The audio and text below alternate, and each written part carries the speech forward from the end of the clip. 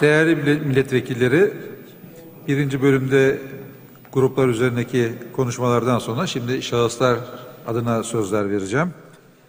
Şahıslar adına ilk söz Kars milletvekilimiz Sayın Ayhan Bilgen'e aittir. Sayın Bilgen buyurun ve süreniz beş dakika.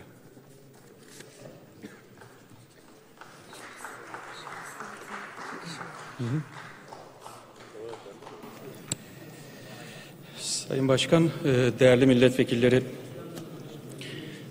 bu çatıda bulunmamızın, bu çatı altında bir sorumluluk yerine getirmemizin galiba en temel esprisi hem toplumsal çıkarı gözeten bir çaba içinde olmamız ama hem de bunu yapabilmek için siyaset kurumunun kendisini koruyan, kendisini savunan, bütün farklılıklarına, bütün rekabet, yarışma, eleştiri ve bütün gerilimlerine rağmen özü itibariyle bütünen siyaset kurumunu tahrip etmeyecek, siyasetin hala sorun çözme kapasitesine sahip olduğu umudunu insanlarda yaşatacak bir tarzı savunmaktır.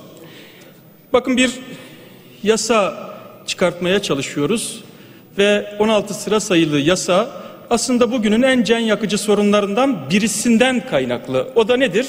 Çok yoğun bir borçlanma var, iflaslar var.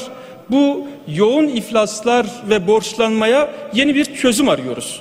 Daha çok kimin çıkarını gözetiyoruz, kimden yana e, ibreyi yönlendiriyoruz. Bu konuda farklı düşünüyoruz. Farklı eğilimlerimiz, farklı yaklaşımlarımız var. Ama bir ihtiyaç olduğu ortada.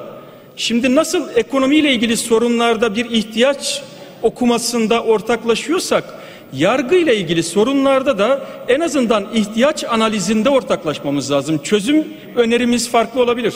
Bakın bugün Anayasa Mahkemesi'nin bir kararı kamuoyuna yansıdı.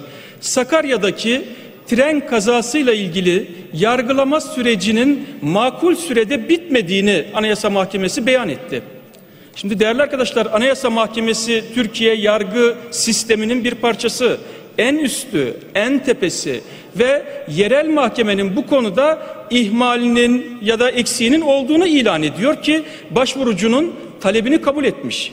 Şimdi yargı ile ilgili bir şey konuştuğumuzda, bir şey tartıştığımızda sanki kişisel olarak yargıçları hedef alıyoruz. Sanki yargı mensuplarını tahkir ediyoruz gibi bir savunma içerisine girersek toplumu savunamayız. Sonuçta yasama da toplum için var, yargı da toplum için, yürütme de sonuçta toplum için var. Bakın bu ülkede yargıçların göreve alımı ile ilgili bir sistem değişikliği tartışılıyor. Çok yakın bir tarihte 70 not barajı 70 puan sınırı kaldırıldı. Şimdi bunu yeniden koymayı tartışıyoruz. Niye kaldırdık ve niye yeniden koyma ihtiyacı duyuyoruz? Hani burada ya dersiniz ki devlette devamlılık esastır.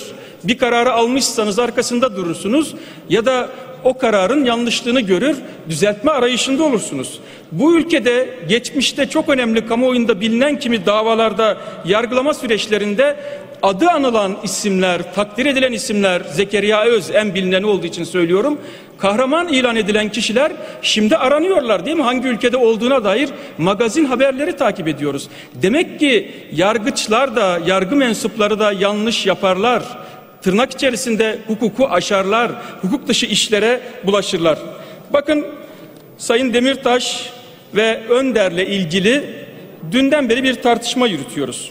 Şimdi bu sözlerin sarf edildiği, bugünden okuyup cezalandırılmaları gerekir, hatta daha fazla ceza almaları gerekir diye sosyal medyada herkes hakem kesiyor. Değerli arkadaşlar dört tane gazete manşetini size getirdim.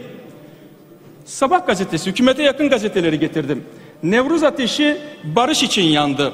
Demirtaş'ın konuşmasını yaptığı Nevroz ve yine aynı şekilde Önder'in konuşmasını yaptığı Nevroz. Çözüm Nevruz'u Akşam Gazetesi'nin manşeti. Yeni Şafak Gazetesi silah sustu barış zamanı tam sayfa haber olmuş bu gazetede. Star Gazetesi Nevruz ateşi ortak kader için yakıldı.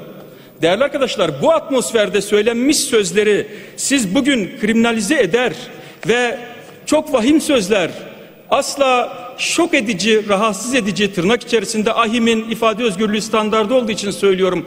Bunun bile ötesinde cezalandırılmaya değer kategoriye sokarsanız o zaman aslında güven kaybına uğrayan bir bütün olarak siyaset olur. İster muhalefet tarafında olsun, ister iktidar tarafında. Bakın bu işe doğrudan doğruya şahsını sorumlu kılıp ilan ettiği için ben o dönemin başka isimlerinin Sayın Beşir Atalay'ın ya da başka isimlerin sözlerini burada kürsüde aktarmayacağım şık bulmuyorum. Ama Sayın Erdoğan doğrudan kendisi sorumluluğu üstlendiği için kendi cümlesini okuyorum değerli arkadaşlar. O gün söylemiş bunu. O günkü Nevruz'da söylemiş. Diyor ki silahların değil siyasetin konuştuğu yeni bir süreç başlasın istiyoruz. Gün kucaklaşma günüdür, gün muhabbet günüdür. Değerli arkadaşlar başka bir cümle.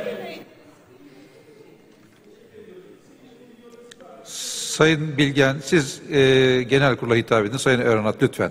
E, Bir de takdirlerinize sunacağım toparlayalım. değerli milletvekilleri. Nedir bu süreç? Bu süreç bir çözüm sürecidir. Bu süreçte kimse bizim karşımıza Kürtlük ile çıkmasın. Kimse bizim karşımıza Türklük ile çıkmasın. Biz her türlü milliyetçiliği ayaklarının altına almış bir iktidarız. Kuru siyaset, kuru milliyetçilik yok. Hep birlikte silahlar sussun, fikirler konuşsun, siyaset konuşsun diyeceğiz. Değerli arkadaşlar, o günün koşullarında, o günün ikliminde, o günün atmosferinde iki siyasetçi Nevroz'da çıktılar ve konuşma yaptılar. Ve üç yıl boyunca bu konuşmalarıyla ilgili herhangi bir soruşturma, herhangi bir inceleme söz konusu olmadı. Aradan üç yıl geçti. O zaman kıymetini bilip bilmeme tartışmasını yapmadığımız bir şeyin şimdi çok tehlikeli olduğunun farkına vardık ve bu isimler, bu siyasetçiler, bu milletvekilleri, bu parti yöneticileri şimdi 5 yıla yakın hapis cezası onaylanarak cezalandırılıyor. Bu elbette ki tarihte hak ettiği yer Teşekkür ederim Sayın Bilgen.